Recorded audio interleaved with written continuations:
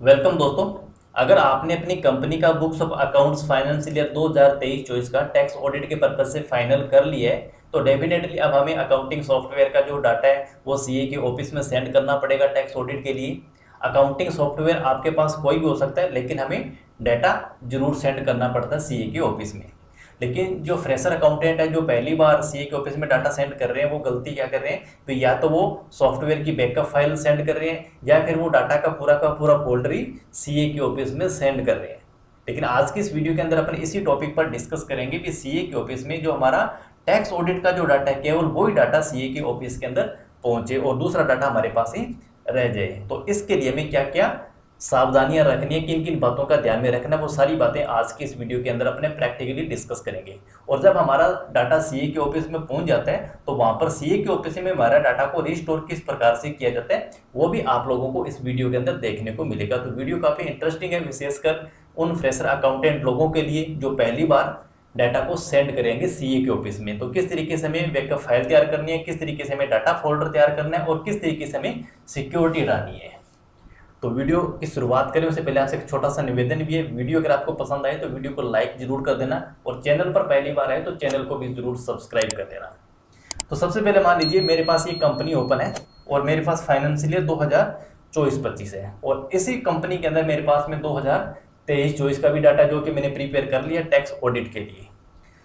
तो अब सबसे पहले मान लीजिए अपने जाते हैं डाटा पे और यहाँ पर आपको मिलेगा डेटा पाथ। अब डेटा पाथ से क्या होगा कि आपको ये पता चल जाएगा भी आपकी जो ये सॉफ्टवेयर है, ये डाटा आपका कहाँ से उठा रहा है। ठीक है? यानी कि C, user, smart, desktop desktop के अंदर ये कुछ इस तरीके का फोल्डर बना हुआ है। इंटर अगर आप प्रेस करोगे तो यहाँ आपको पूरा पता चल जाएगा। यानी कि इस लोकेशन से आपका जो टेली सॉफ्टवेयर है, डाटा को उठा रहा है। ये एक चीज़ आपको पता चलेगी। अब दूसरा आपको इस बात का ध्यान रखना है भी ये जो आपकी कंपनी है, इस कंपनी का डेटा का जो नंबर है फोल्डर का जो नंबर आ रहा है, वो नंबर कितना है? दो आते आपको ध्यान में रखेंगे। अब अपने बात है कि मान लीजिए अब इस, ये जो कंपनी है मेरी स्मार्ट ट्रेडिंग कंपनी इसके अंदर मान लीजिए मेरे पास में दो हज़ार उन्नीस बीस का, बीस इक्कीस का, इक्कीस बाईस का, बाईस तेईस का, तेईस चौबीस का, पिछले मान लीजिए तीन चार सालों से कंटिन्यू मेरा रिपोर्ट इसी के अंदर है। और मान लीजिए ये मेरा जो कंपनी है, और इस कंपनी का जो मेरा फोल्डर नंबर है, वो है ये। Zero one zero one double zero two zero, ठीक है? और आप डेट भी यहाँ देख सकते हो भी लेटेस्ट इसके अंदर जो वर्किंग हुई है, बारह सितंबर 2024 की हुई है, ठीक है? अब मान लीजिए अगर मैंने इस फोल्डर को सारे को सारे को सी के ऑफ़िस में सेंड कर दिया तो यानी कि मेरा पिछले सालों का रिकॉर्ड भी इसी के अंदर जा रहा है, और अभी जो प्रेजेंट फाइनेंशियल ईयर चल रहा है दो हज़ार चौबीस पच्चीस का, उसका रिकॉर्ड भी मेरा सी ऑफ़िस में पहुँच रहे हैं। अब दिक्कत कहाँ आ जाएगी? दिक्कत ये आएगी, मान लीजिए मैंने आज बारह तारीख को सी के ऑफ़िस में डाटा सेंड कर दिया। तो जैसे मैंने सेंड कर दिया तो अब मैं क्या जाऊँगा? अब मेरे को मान लीजिए तेरह तारीख का काम भी करना पड़ेगा, चौदह तारीख को भी मेरी बिज़नेस की अकाउंटिंग मेरे को करनी है तो अब डाटा तो मेरे पास सी के ऑफ़िस में पहुँच रहा है। तो अब वहाँ पर अगर आपने उस डाटा को सेंड कर दिया तो उस डाटा को आपको बोलना पड़ेगा। अगर आप सोचोगे वहाँ से डाटा मेरा प्रीपेयर होके हो जाए, और जो जो सी लोग चेंजिंग करेंगे तो वो उसी मतलब उसी डाटा के अंदर चेंज हो जाए। तो वहाँ पर जो चेंज हो जाएगा तो आपको या तो दो तीन दिन का वेट करना पड़ेगा जब तक आपकी टैक्स ऑडिट ना हो जाए। अब आप चाहते हो भी आपकी बिज़नेस की अकाउंटिंग भी आपको कंटिन्यू रखनी है डे टू डे तो आपको क्या करना पड़ेगा? उस डाटा को सपरेट करना पड़ेगा। भी आपका 2024-25 का जो रिकॉर्ड है, वो आपके पास ही रहे। ठीक है? अब उसके लिए आपको क्या करना पड़ेगा? डाटा को सपरेट करना पड़ेगा। इसके लिए आपको क्या करना पड़ेगा? डेटा पर जाएँगे और यहाँ पर सपरेट भी ऑप्शन पे सिलेक्ट करेंगे। और उसके बाद में एक बार आपका वेरीफाई डाटा आएगा। भी वेरीफाई डाटा का क्या पूछेगा? भी आप अपनी कंपनी का एक बार नाम चेक कर लो और दूसरा आपकी कंपनी का फोल्डर चेक कर लो। भी zero one double zero two zero ये आपका फोल्डर है। इसी को करना है या कर, नहीं करना है। इसी को करना है तो इसके लिए वापिस डाटा और सप्लिट और सप्लिट डाटा अब यहाँ क्या हो जाएगा? जैसे अपने इंटर करेंगे फ्रोम एक अप्रैल 2024 यानी कि अब एक अप्रैल 2024 का डाटा मेरा अलग हो जाएगा। इंटर प्रेस करेंगे एक्सेप्ट करेंगे और मैंने इसको यस कर दिया।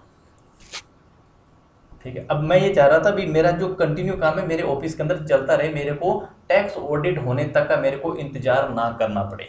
अब ये मेरा डाटा यहाँ पर सप्लिट हो रहा है। जैसे डाटा सप्लिट हो जाएगा, अब क्या हो जाएगा, मेरे पास में एक कंपनी और क्रिएट हो जाएगी। वो अपने देखते हैं, जैसे ये हमारा सौ परसेंट कंप्लीट हो जाता है। अब देखो, यहाँ पर डाटा आ गया सारा। अब इसमें क्या आ जाएगी जो मेरी एक मेन फ़ाइल थी, वो रहेगी, उसके बाद में स्मार्ट ट्रेडिंग कंपनी ये ये थी हमारी मेन फ़ाइल ठीक है? और उसके बाद में, अब आपका डाटा एक अप्रैल 2018 से तो अलग हो जाएगा, और उसके बाद में एक अप्रैल 2024 से वो डाटा आपका अलग हो जाएगा। अब यहाँ पर मेरे पास में 2024-25 का डाटा है, ठीक है ना? अब इसके अंदर क्या होगा अब मैं, मेरी कंपनी के अंदर ऑलरेडी काम कर सकता हूँ। और मेरे यहाँ, अगर अपने इसके अंदर डाटा देखें भी, एक अप्रैल अठारह से आके पुराना डाटा आपको सेंड करना है। यानी कि एक चार अठारह से लेके इकतीस तीन दो हज़ार चौबीस तक का। क्योंकि तेईस चौबीस के ऑडिट कराए तो इकतीस तीन चौबीस तक का डाटा सी के ऑफ़िस में पहुँच जाएगा। और अब यहाँ पर अपने, जैसे ही अपने इस फोल्डर पे जाएँगे तो यहाँ हमारे पास में क्या हो जाएगा? एक अलग से रिकॉर्ड और बन जाएगा। वापस अब अपने यहाँ पर चलते हैं कंपनी में और सेलेक्ट पे चलते हैं। सेलेक्ट पे जाएँगे तो यहाँ से आपको देखो, आपका डाटा कितना नंबर था हमारा? टू ज़ीरो का। अब यहाँ पर आपका एक अप्रैल चौबीस था, उसका डाटा तो बन गया ये, और एक चार अठारह से था, उसका रिकॉर्ड बन गया वन ज़ीरो ज़ीरो ज़ीरो यानी कि फाइव टेन ज़ीरो ये आपका अब रिकॉर्ड बन चुका है फाइनेंशियल ईयर दो हज़ार तेईस चौबीस का, जो टैक्स ऑडिट आपने करवा लिया। और अगर आप चाहते हो कि तेईस, केवल तेईस चौबीस का डाटा पहुँचे तो आपको इस डाटा को भी आपको सबमिट कर लेना है। इसके भी टुकड़े हो जाए। सपरेट कर मतलब अलग अलग टुकड़े कर देना। और ये आपकी जो मेन फ़ाइल थी, वो मेन फ़ाइल आपकी अभी भी पड़ी है। इसके अंदर पूरे पाँच सात सालों का जितना भी आपका रिकॉर्ड था, वो है। तो अब हमें क्या करना पड़ेगा? इस फोल्डर को कॉपी करेंगे। लेकिन उससे पहले अपने को क्या करना पड़ेगा? एक बैकअप फ़ाइल क्रिएट कर लेनी है। किसकी फ़ाइल करेंगे? एक अप्रैल 2018 वाली की। क्योंकि यहाँ पर एक अप्रैल 2018 का डाटा करेंगे, उसी का डाटा हमें बैकअप लेना है। तो बैकअप पे जाएँगे। और बैकअप पे जाने के बाद अपने को यहाँ पर सबसे पहले आपको उस बैकअप का पाथ सेलेक्ट कर लेना है कहाँ पर सेलेक्ट करना है, किसी ड्राइव में करना है, या आपने कोई स्पेसिफिक पाथ बना रखा है तो वहाँ पर आप दे सकते हो, या पर्टिकुलर कोई ड्राइव मैंने दे दिया। और उसके बाद में ये मैंने कंपनी को सिलेक्ट कर लिया, और उसके बाद में एंड ऑफ़ लिस्ट कर दिया। ठीक है? अब यहाँ पर एक एरर आ रही है। अब एरर आने का रीज़न क्या है, ये भी चेक कर लो आप। आपके सॉफ्टवेयर भी हो सकते हैं you a note write permission the designation C यानी कि आप सी ड्राइव के अंदर आपको बैकअप नहीं लेना है, ठीक है ना? तो अब आपको क्या करना पड़ेगा? यहाँ से अपने को ड्राइव चेंज कर लेते हैं। यानी कि सी ड्राइव से हटके में पाथ देना पड़ेगा। सेलेक्ट फ्रॉम ड्राइव कर लेते हैं। यहाँ से अपने को क्या करेंगे? डेस्कटॉप सेलेक्ट कर लिया और डेस्कटॉप में डाटा टेलीग्राम का जो फोल्डर बना उसी के अंदर बैकअप फ़ाइल को सेलेक्ट कर लेंगे। और इसके अंदर जो हमें डाटा सेलेक्ट करना है, वो हमें यहाँ से उस डाटा को सिलेक्ट करना होगा। ये वन टाइम जो ज़ीरो आ रहा था, ये हमारी कंपनी थी। और यहाँ पर अपने को उसके बाद में ये सिलेक्ट कर लेंगे और एंड ऑफ़ लिस्ट करेंगे।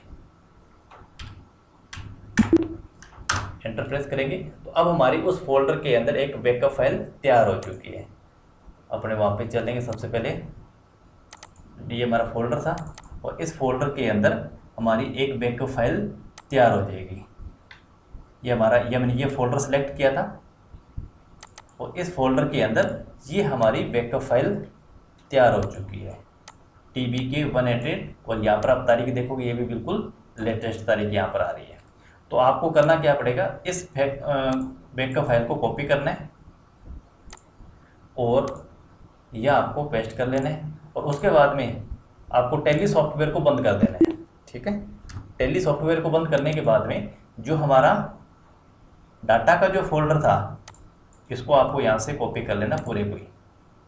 और इसको भी यहाँ पर आपको पेस्ट कर लेना।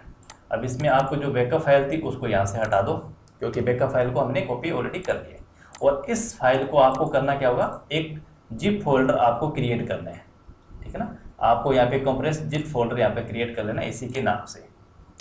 और जैसे हमने क्रिएट किया इसको आप नाम चेंज कर सकते हो ताकि पता चल जाए। जैसे कि मेरी कंपनी का नाम स्मार्ट ट्रेडिंग कंपनी है तो मैं यहाँ पर स्मार्ट ट्रेडिंग कंपनी का नाम मैंने लिख दिया, ठीक है? और यहाँ पर ये जो फ़ाइल है, इसके आगे भी मैं यहाँ पर नाम चेंज कर दूँगा। ये मैंने चेक कर दिया। अब ये मेरे पास में दो फाइलें हैं। अब ये दोनों फाइलों को मेरे को सेंड करना पड़ेगा। अब एक मेरे पास में है बैकअप और दूसरा है डाटा ठीक है ना? अब आपको क्या करना पड़ेगा? अब डाटा मान लीजिए सॉफ्टवेयर के अंदर सीधा डाटा चलाना है, ठीक है ना? तो अब इसके लिए क्या करना पड़ेगा? इस फोल्डर को सी के ऑफ़िस क्या करेगा इसको? यहाँ पर आपको दिखाता हूँ मैं एक्सट्रेट हो जाएगा। जैसे एक्सट्रेट हो गया तो ये डाटा बन गया, ठीक है ना? इस डाटा के अंदर मेरी वो कंपनी आ गई, ठीक है? अब मेरे को यहाँ पर क्या करना पड़ेगा? जो यहाँ पर वन ज़ीरो ज़ीरो का नाम जो आ रहा है, इसको हटा के यहाँ पर स्मार्ट एडिंग करूँगा और जैसे मैं इसको उठा के टेली सॉफ्टवेयर के ऊपर डालूँगा तो इससे क्या हो जाएगा? मेरी वो कंपनी यहाँ पर ओपन हो जाएगी। आप देखोगे बाकी कंपनी हटेगी और जिसका हमने डाटा तैयार किया था केवल, वही कंपनी आपको लेगी, ठीक है? और दूसरा आपको क्या ध्यान में रखना है? आपको बैकअप लेने से पहले अगर आपने कोई सिक्योरिटी लगा रखी है तो उस सिक्योरिटी को आपको एक बार ज़रूर हटा लेना है। या फिर आप जो भी आपका यूज़र आईडी पासवर्ड है टेली सॉफ्टवेयर का, उसको मेल आईडी के अंदर आप ज़रूर मेंशन कर दीजिएगा, ताकि वहाँ पर जो सी लोगों के, जो स्टाफ लोगों का, उनको कोई दिक्कत ना आए कंपनी को ओपन करते वक्त। या आप एल्टर पे जाके और यहाँ पर इसका जो सिक्योरिटी है, इसको नो भी कर सकते हो। और जो आपका लेटेस्ट पासवर्ड आपने जो लगा रखा है इसके ऊपर, वो आपको डालना पड़ेगा। अब आपका जो कंपनी है फ़ाइल है, जो डाटा वो सिक्योरिटी के बिना हो चुका है। यानी कि अब डायरेक्टली आपका कंपनी का जो डाटा है, वहाँ से उठेगा। जैसे कि मान लीजिए मैं वापस इसको क्लोज करता हूँ, और अब इसको मैं वापस सीधा टेली सॉफ्टवेयर पे रन कराता हूँ, और एंटर प्रेस करूँगा तो अब देखोगे अब मेरा बिना यूज़र आईडी पासवर्ड के डाटा ओपन हो चुका है। तो इसलिए आपको पूरा डाटा का फोल्डर आपको पूरा सेलेक्ट सेंड नहीं करना है। जैसा कि हमारा जो टेली सॉफ्टवेयर डाटा ये पूरा पूरा इस फोल्डर से यानी कि यहाँ पर जो कंपनी बनी हुई है ना इस कंपनी का पूरा का पूरा डाटा हमारा उठा रहा था। अब बहुत सारे लोग क्या करेंगे, इस पूरे पूरे फोल्डर को सेंड कर रहे हैं। अब पूरे फोल्डर को सेंड करोगे तो इसके अंदर जो अदर कंपनी बनी हुई है, वो भी उनके पास पहुँच रही है, जो उनके काम के नहीं है। और आपका अनसेसरी जो डाटा का जो साइज़ है, वो भी बढ़ेगा वहाँ पर। तो इसीलिए आपको पर्टिकुलर उसी डाटा को सिलेक्ट करना है, उसी कोड को सिलेक्ट करना है, जिस कंपनी का आपने टैक्स ऑडिट करवानी है। आई होप कि आज के इस वीडियो से ज़रूर आपको कुछ नया सीखने को मिला है। वीडियो अगर आपको पसंद आई है तो वीडियो को आप लाइक ज़रूर कर देना। और चैनल पर पहली बार आए तो आपसे एक बार फिर से रिक्वेस्ट है। चैनल को भी आप ज़रूर सब्सक्राइब